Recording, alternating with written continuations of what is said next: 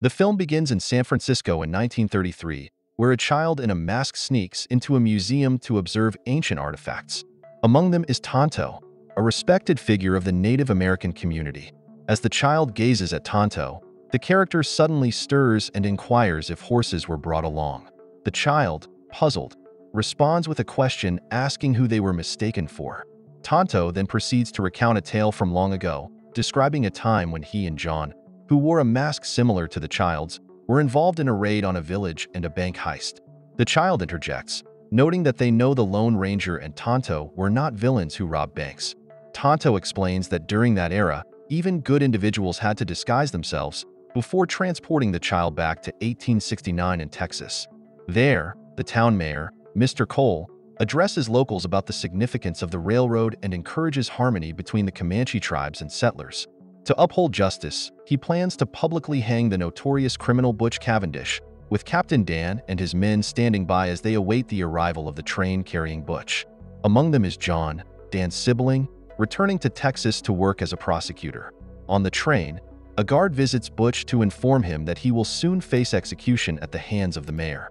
Butch disdainfully regards the guard as Tonto, who has been captured, fiddles with his faulty watch nearby. Meanwhile, a gang of criminals lurk close by, plotting to rescue Butch from the train. In a daring move, Butch manipulates a piece of wood to retrieve a concealed gun, then requests to use the restroom. Subsequently, Butch overpowers and kills the guards. John, the observant one, spots a figure atop the train and begins pursuit. Butch's accomplices board the train, causing chaos by threatening passengers, killing the conductor, and accelerating the train. Amid the turmoil, Butch targets Tonto for elimination until John intervenes. Tonto then seizes a gun, confronting Butch with his faulty watch, seeking retribution for past injustices. However, John stops Tonto from seeking vengeance, opting to deliver Butch to face a just trial. Suddenly, Butch's henchmen appear behind John, providing Butch the upper hand to restrain John and Tonto before fleeing with their gang on horseback. The train misses its intended stop, prompting Dan and his rangers to hastily give chase. Tonto manages to break free from the wooden restraint but struggles due to the chain connecting him to John. In a bold move, he takes John and ascends the train to detach the carriages, ensuring the safety of the passengers. A bandit emerges, menacing them from atop the train. Just then, Captain Dan arrives on horseback, swiftly subduing the thief. They work together to separate the main carriage while John and Tonto stand atop it. Unfortunately, the train derails, throwing them near the wreckage. John trails after Tonto, aiming to return him to custody for his trial, but Tonto disregards him, walking ahead. Captain Dan intervenes, handing John handcuffs and leading Tonto back to jail. John arrives home to reunite with Rebecca, his brother's wife, whom he hasn't seen in nine years, along with his nephew Danny. Later, Danny observes Tonto in the jail cell, speaking in an unusual manner. Mr. Cole appears and meets John, instructing Captain Dan to apprehend Butch by any means necessary. Dan agrees to take Collins, the scout, to track down Butch. Before departing, Dan bids farewell to his family, entrusting John with his father's badge and deputizing him as a Texas Ranger. As they spot a white horse standing on the mountain, Dan shares with John that Native Americans hold this horse in high regard, calling it the immortal soul. Upon reaching a passage amidst the mountains, Dan tasks Collins with scouting the area to ensure the safety of their route. While Collins ventures off into the distance and signals that the path is clear, they enter the canyon. Dan questions Collins' whereabouts and soon realizes they have walked into a trap as gunfire rains down on his men from various mountain vantage points. Attempting to escape, Dan witnesses his brother fall to the ground and courageously returns to rescue him. However, he gets shot in the shoulder in the process. John rushes to aid his wounded brother, but gets hit and loses consciousness. In the meantime, Tonto arrives and prepares graves for Dan and his men, looting their belongings before burying them. John wakes up but Tonto strikes him with a stone, causing him to lose consciousness once more. The white horse appears and stands by John's grave, prompting Tonto to intercede. Tonto asks the horse to bring back Dan, highlighting his prowess as a warrior. However, the horse insists on helping John instead. Tonto mounts the horse, rescues John, and tends to his injuries. As John awakens, he observes Tonto conversing with the white horse. Tonto conveys to John that the horse mentioned John has transformed into a spirit that cannot be killed at night. Tonto urges John to seek justice for his brother and comrades, presenting him with a mask. He explains that Butch believes John to be deceased, making it advisable for John to wear the mask.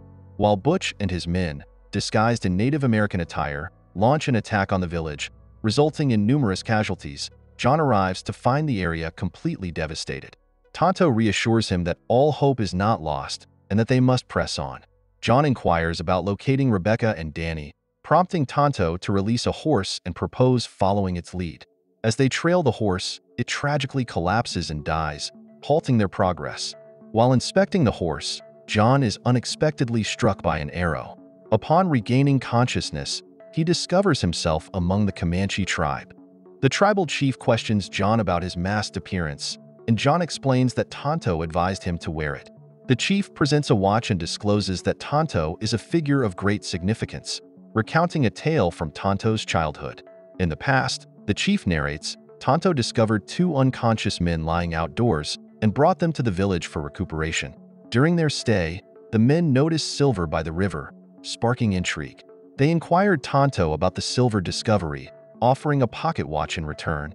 Young Tonto guided them to the location of the silver, but the two men's greed led them to massacre the entire village. Their plan was to return and plunder as much silver as they desired without facing any resistance. Upon witnessing the devastation wrought upon his village due to his actions, the young Tonto vowed to avenge the village's destruction. Tonto recounted to John that his brother had pledged to protect the tribe's lands as long as they maintained peace. John revealed Dan's demise and assured that if they were released, he would honor his brother's commitment. However, the tribe's chief remained skeptical. They were then buried in the ground with their heads exposed. The white horse emerged to aid their escape from the pit. Tonto instructed John that they must journey to the river's source to confront Butch. At the river's source, Butch's men hesitated to enter a cave, citing the presence of an alleged malevolent spirit inside. Shortly after, John and Tonto propelled a minecart towards the entrance, engaging in a firefight. As they approached the cart, it suddenly exploded. John seized Butch and interrogated him about Rebecca and Danny. Butch revealed their unfortunate demise, sending John into a rage, prompting him to physically assault Butch with the gun. Later, John brought Butch to trial and handed him over to Mr. Cole. During a dinner invitation from Mr. Cole, he confessed to being Butch's brother and attempted to shoot John. John narrowly escaped. Returning to a previous event, John and Tonto broke into the bank to acquire explosives, which they strategically placed on the bridge to bring it down. Meanwhile, a celebration took place at the station. Tonto scaled the train carrying silver boxes and threatened the engineers. The train departed, causing chaos at the party venue as soldiers pursued and fired at Tonto. Mr. Cole, Butch, and Rebecca boarded a separate train to pursue Tonto. John arrives riding a white horse and leaps over the second train. Tonto then switches the train tracks, causing both trains to run parallel to each other. Mr. Cole spots John on the horse atop the train and instructs Butch to eliminate him. Butch takes Rebecca onto the train in front of John, who pleads for her release. Butch pushes her, but she lands safely on the white horse. John attempts to shoot Butch, but his gun is empty, leading him to physically assault Butch. John then descends to halt the train, only to find Butch holding his gun, declaring that their journey is at an end and John must perish. The train carrying Silver crashes into the other train's trailer. John, with Rebecca on the white horse, flees, leaving Butch behind to meet his demise. Mr. Cole manages to escape with some silver-filled trailers, but Tonto emerges above them. Mr. Cole confronts Tonto and tries to kill him, prompting John, riding the horse, to shoot Mr. Cole and discard his weapon. Tonto picks up the gun, stating that he has long awaited this moment. When Mr. Cole questions his identity, Tonto hands him a watch, prompting Mr. Cole to recall the young Native American boy to whom he had given the watch to learn about the source of silver. Tonto releases the hook, causing Mr. Cole to plummet with the train full of silver stones from the collapsed bridge, sinking deep into the river beneath the train cart. John rushes to Tonto's aid to rescue him, don't forget to subscribe and turn on the notification bell if you want to watch more videos like this. Thank you for watching and see you again soon. Take care.